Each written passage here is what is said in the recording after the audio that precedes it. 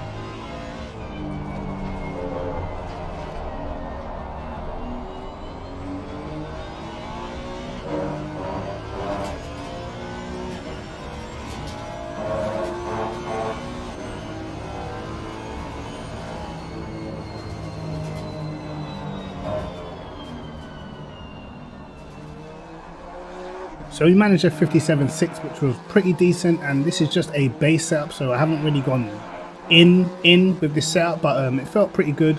But coming into the first corner I actually felt like I just turned in a little bit too late and it made me sort of have to sort of balance the car on the throttle not sort of carry the speed through the corner. Therefore I was a little bit wider and didn't manage to hit the exact part of the exit curb that I wanted to so I felt like I was a little bit slow maybe lost about uh, a tenth and a half, a tenth through turn one.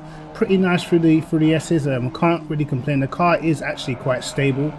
Um, the only thing that I've noticed about the NSX, which it seems to kind of struggle with, is that the braking does seem just a little bit like you just you can't get the bite.